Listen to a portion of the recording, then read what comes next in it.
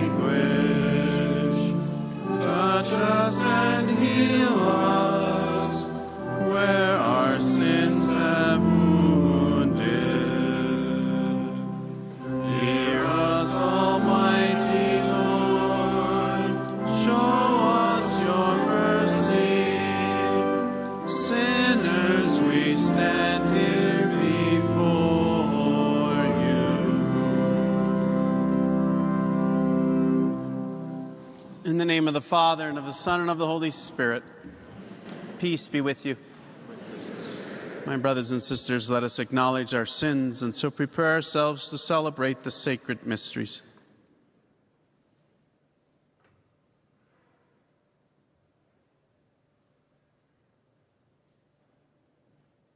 I confess to Almighty God and to you, my brothers and sisters, that I have greatly sinned in my thoughts and in my words, in what I have done and in what I have failed to do, through my fault, through my fault, through my most grievous fault.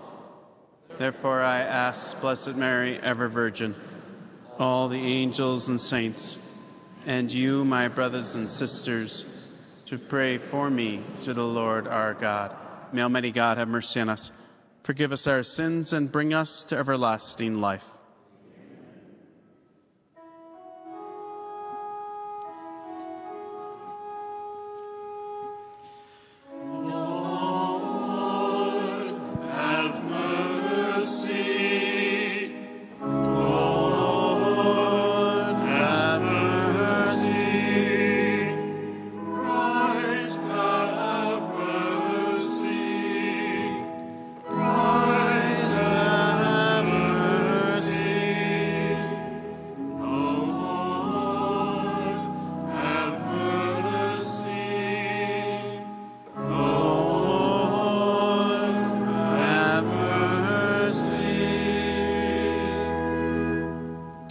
Us pray. By your help, we beseech you, Lord our God. May we walk eagerly in that same charity with which, out of love for the world, your Son handed himself over to death. Through our Lord Jesus Christ, your Son, who lives and reigns with you in the unity of the Holy Spirit, God, forever and ever.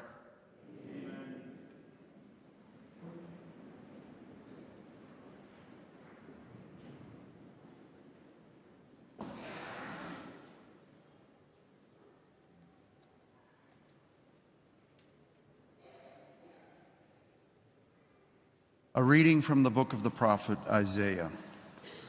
Thus says the Lord, who opens a way in the sea and a path in the mighty waters, who lead, leads out chariots and horsemen, a powerful army, till they lie prostrate together, never to rise, snuffed out and quenched like a wick.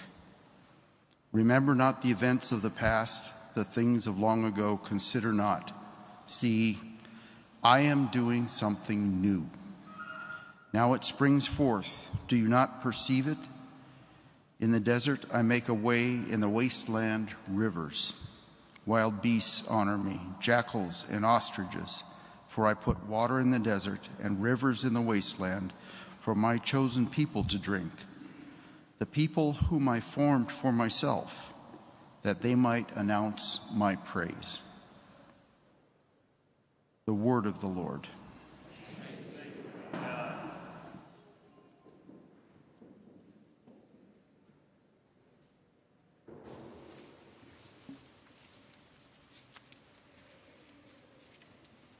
Lord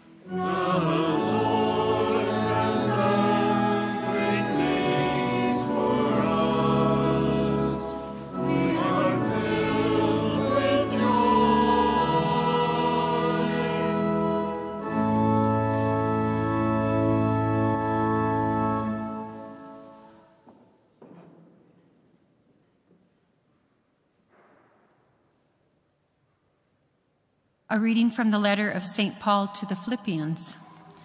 Brothers and sisters, I consider everything as a loss because of the supreme good of knowing Christ Jesus, my Lord. For this for his sake I have accepted the loss of all things, and I consider them so much rubbish that I may gain Christ and be found in him, not having any righteousness of my own based on the law, but that which comes through faith in Christ, the righteousness from God, depending on faith to know him and the power of his resurrection, and the sharing of his sufferings by being conformed to his death, if somehow I may attain the resurrection from the dead. It is not that I have already taken hold of it or have already attained perfect maturity, but I continue my pursuit in hope that I may possess it, since I have indeed been taken possession of by Christ Jesus. Brothers and sisters, I, for my part, do not consider myself to have taken possession. Just one thing, forgetting what lies behind but straining forward to what lies ahead, I continue my pursuit toward the goal, the prize of God's upward calling in Christ Jesus. The word of the Lord.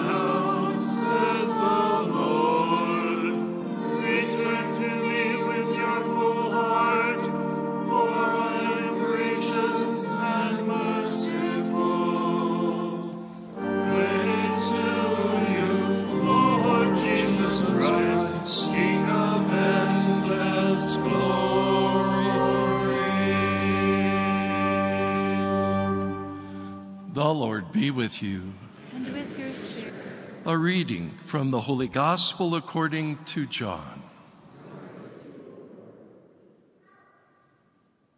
Jesus went to the Mount of Olives, but early in the morning he arrived again in the temple area, and all the people started coming to him, and he sat down and taught them. Then the scribes and the Pharisees brought a woman who had been caught in adultery and made her stand in the middle. They said to him, Teacher, this woman was caught in the very act of committing adultery. Now, in the law, Moses commanded us to stone such women. So, what do you say? They said this to test him, so that they could have some charge to bring against him. Jesus bent down and began to write on the ground with his finger. But when they continued asking him, he straightened up and said to them, Let the one among you who is without sin be the first to throw a stone at her. Again he bent down and wrote on the ground, and in response, they went away one by one, beginning with the elders. So he was left alone with the woman before him. Then Jesus straightened up and said to her, Woman, where are they? Has no one condemned you? She replied, No one, sir. Then Jesus said, Neither do I condemn you. Go, and from now on, do not sin anymore. The Gospel of the Lord.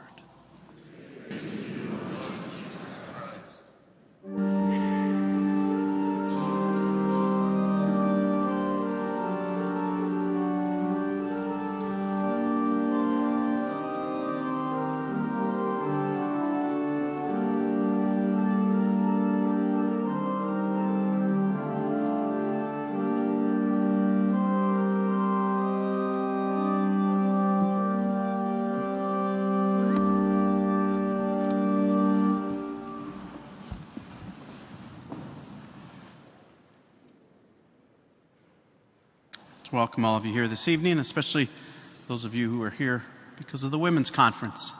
Uh, wonderful to see you. And I hope it was a fruitful weekend. And I hope it's not just a fruitful weekend. That would be very disappointing if the only fruit lasted for two days. Because that's a temptation to listen and say, oh, that was interesting.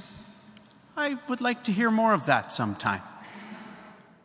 And have it not really change us and not have it go more deeply within us, asking the Holy Spirit uh, to finish the work of these days together. That's my challenge to all of you to beg the Spirit, who is the healing balm of Jesus, his breath that brings healing and hope, to ask the Holy Spirit uh, to bring to fruition, to bring about the real fruit that he desires from the weekend that you spent together. And my challenge, I gave it last year. You didn't quite pull it off. I told you last year, I don't want you here again if you don't bring someone with you who's not here. So I'll let you pass this year, I suppose, because of COVID. We're blaming everything on it. So, but not next year. I want you to bring someone with you who's not here.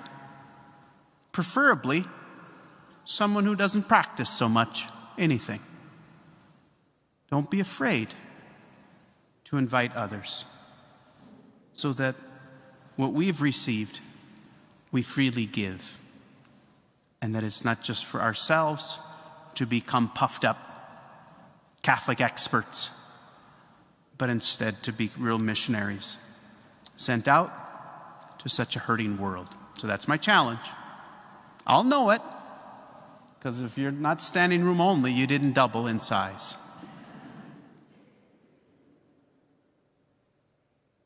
Some weeks back, I was at a young family's home for dinner, and they had some young kids.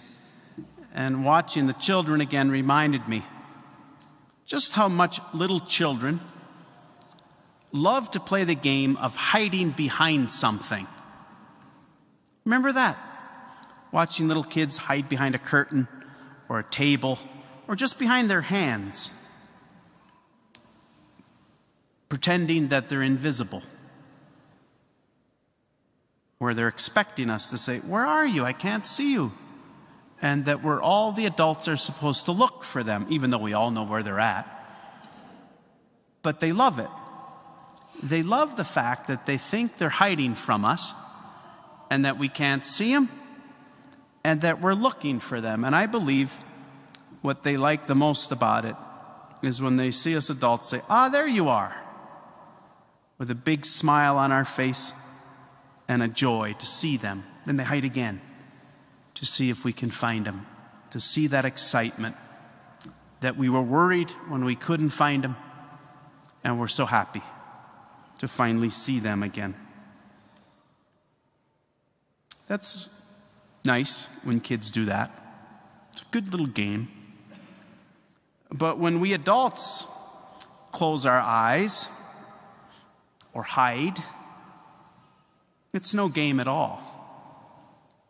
We're pretending, just like kids, that things are not really as they are, that we're much more in full view than we expect or hope or think. We're pretending that we're treating everyone kindly, when in fact we're not. We're pretending that we are forgiven, and yet we fail to forgive and wonder why forgiveness doesn't sink in to our lives. We pretend to be the saint, that the others are the bigger sinners, I suppose. It's very easy to pretend. The reasons we use to justify our sins are actually no more convincing than a child's pretending to be invisible in front of all of us. And yet, as I said, the children who play the game have something great to teach us because it's so nice for them to open their eyes or to be found with a smiling, welcoming, loving, there you are. In the gospel today, we hear of the woman caught in adultery. As she stands before the crowd in the middle, she must have wished that she would have been invisible. In fact, she probably tried to hide herself by keeping her head down and covering her face, hoping to be invisible. As that dialogue carried on, she must have tried to hide from her sin. And then, when the crowd leaves and Jesus speaks to her, she couldn't hide anymore. What's Jesus going to do? He looks at her with deep love and says, There you are. There you are. The real you. The you I have come to die for. The you that is worth saving. The you that has been dragging these chains with you for years and years and years. I came to set you, the captive, free. Many times we're afraid of the shame that we think will come if we open our eyes and honestly see ourselves as we really are. But we need not be afraid. Lent is our time to finally open our eyes and to come out of hiding, allowing God in the person of Jesus to say to us, deep in our hearts, Ah, there you are.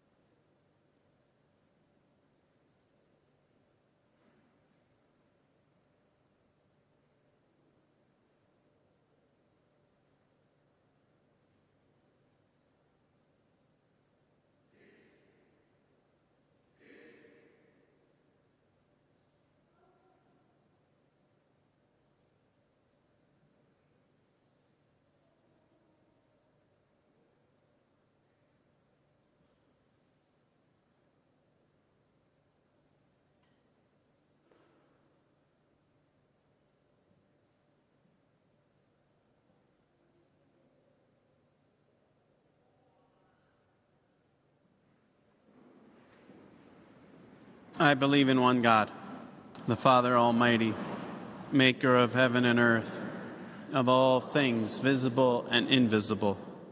I believe in one Lord Jesus Christ, the only begotten Son of God, born of the Father before all ages, God from God, light from light, true God from true God, begotten, not made, consubstantial with the Father through him all things were made. For us men and for our salvation, he came down from heaven, and by the Holy Spirit was incarnate of the Virgin Mary and became man. For our sake he was crucified under Pontius Pilate. He suffered death and was buried, and rose again on the third day in accordance with the Scriptures. He ascended into heaven and is seated at the right hand of the Father.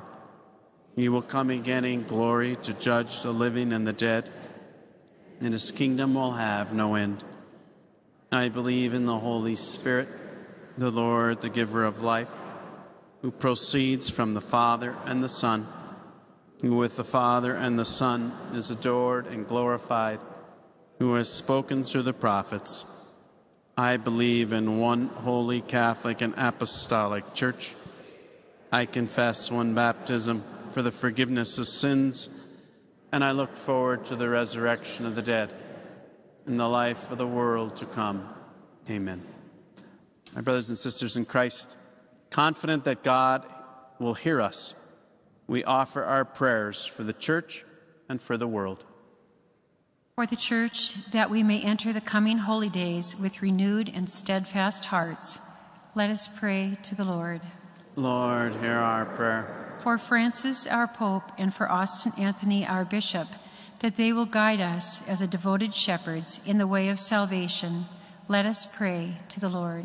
Lord, hear our prayer. For an end to war and the beginning of peace, that all who are affected, for an increased desire to place our lives in the service of our sisters and brothers, may we be given the grace to learn obedience through our sufferings. Let us pray to the Lord. Lord, hear our prayer. For all who are suffering from the result of war and natural disasters, and for those who are lost in the struggles of life, that Christ, the supreme shepherd, may restore and console them and crown them with glory. Let us pray to the Lord. Lord, hear our prayer. For the protection of human life at all stages, and for the end of the culture of death, let us pray to the Lord. Lord, hear our prayer. We remember the prayers written in our book of intentions and those we hold in the silence of our heart. Let us pray to the Lord. Lord, hear our prayer. God of love, our refuge and our strength, you see us, you know us, and you love us. Hear the prayers of your church and grant us today what we ask you in faith through Christ our Lord. Amen.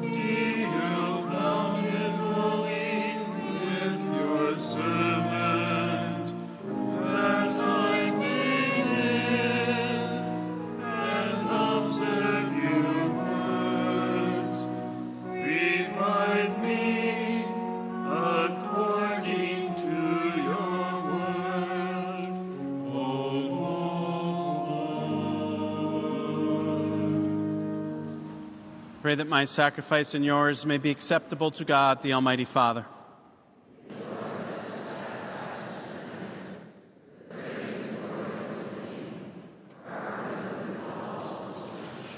Hear us, Almighty God, and having instilled in your servants the teachings of the Christian faith, graciously purify them by the working of this sacrifice through Christ our Lord. The Lord be with you. Lift up your hearts. Let us give thanks to the Lord our God. It is truly right and just, our duty and our salvation, always and everywhere to give you thanks, Lord, Holy Father, Almighty and eternal God. You have given your children a sacred time for the renewing and purifying of their hearts, that freed from disordered affections, they may so deal with the things of this passing world as to hold rather to the things that eternally endure. And so, with all the angels and saints, we praise you as without end we acclaim.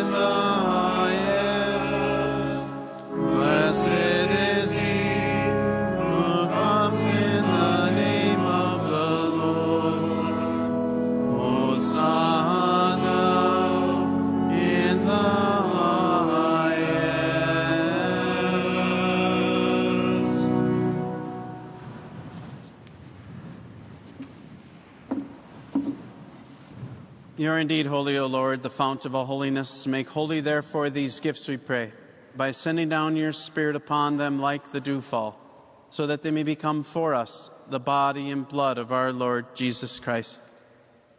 At the time he was betrayed and entered willingly into his passion, he took bread and, giving thanks, broke it and gave it to his disciples, saying, Take this, all of you, and eat of it, for this is my body which will be given up for you.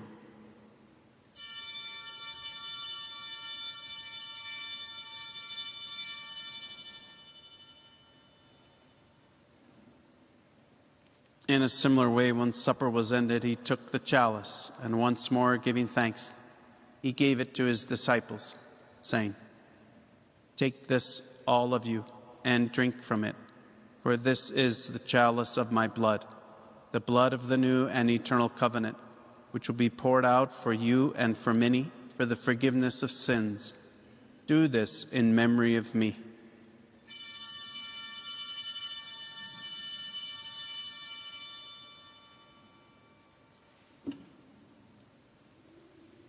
The mystery of faith.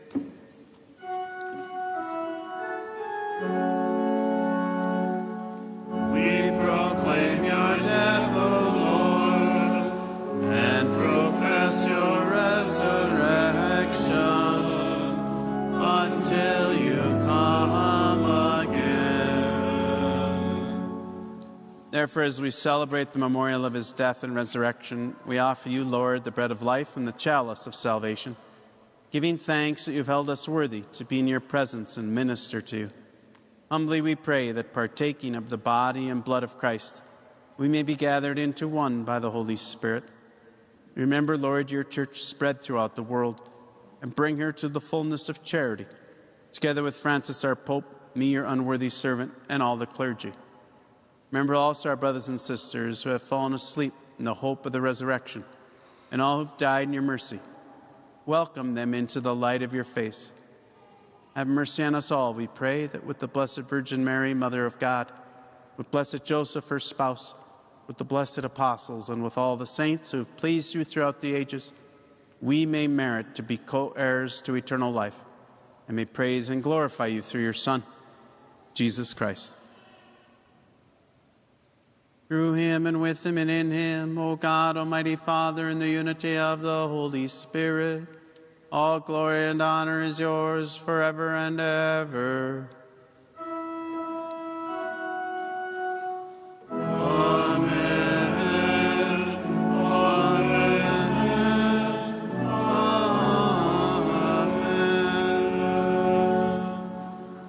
Savior's command, informed by divine teaching we dare to say, Our Father, who art in heaven, hallowed be thy name.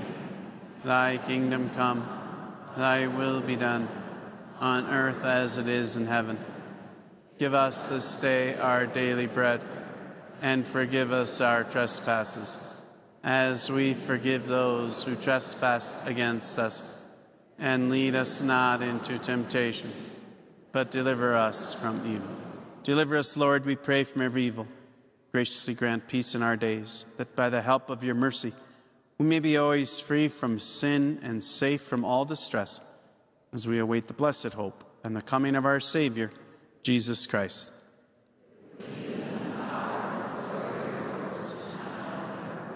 Lord Jesus Christ, who said to your apostles, Peace I leave you, my peace I give you. Look not on our sins, but on the faith of your church, and graciously grant her peace and unity in accordance with your will, who live and reign forever and ever. Amen. Peace of the Lord be with you always.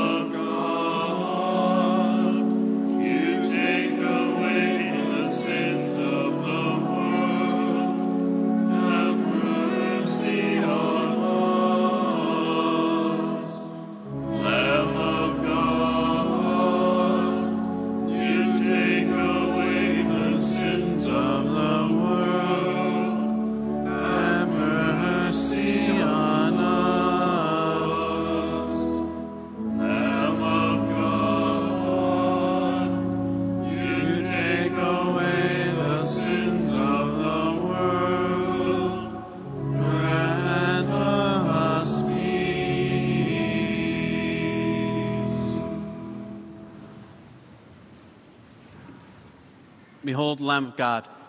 Behold him who takes away the sins of the world.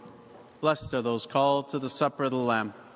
Lord, I am not worthy that you should enter under my roof, but only say the word, and my soul shall be healed.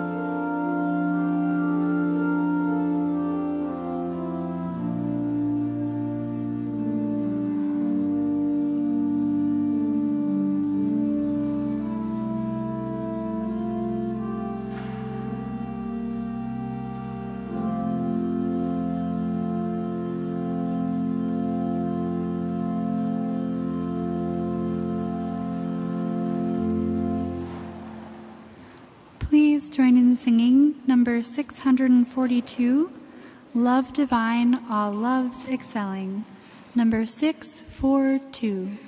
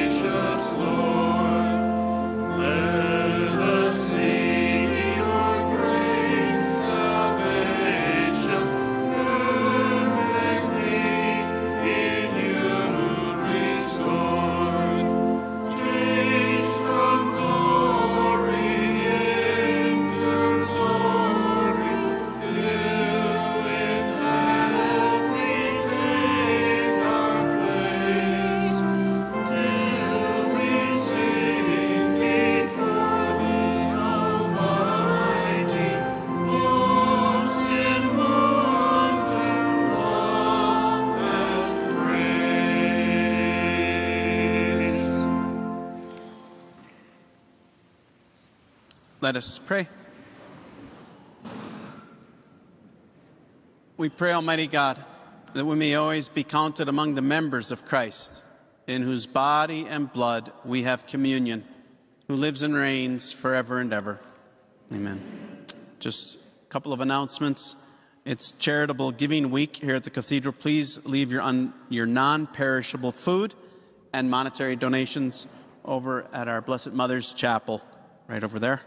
Uh, and thank you for your generosity. As well, this coming Tuesday, uh, April 5th at noon Mass, we will celebrate the Chrism Mass here at the Cathedral, which is a very important time for the life of a diocese. It's actually my first one I'm doing publicly uh, since I've been your bishop, so uh, it'll be wonderful to have our priests here, in which we also bless and consecrate the sacred oils, and the priests renew their priestly vows, uh, promises. So I encourage you, if you're able, to please join us at noon to pray for our priests in a special way and those who will be anointed with the sacred oils uh, during this next year.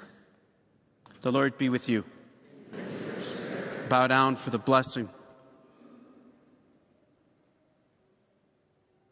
Bless, O Lord, your people who long for the gift of your mercy, and grant that what at your prompting they desire, they may receive by your gracious, generous gift through Christ our Lord. And may Almighty God bless all who are gathered here, the Father, and the Son, and the Holy Spirit. Go forth, the Mass is ended.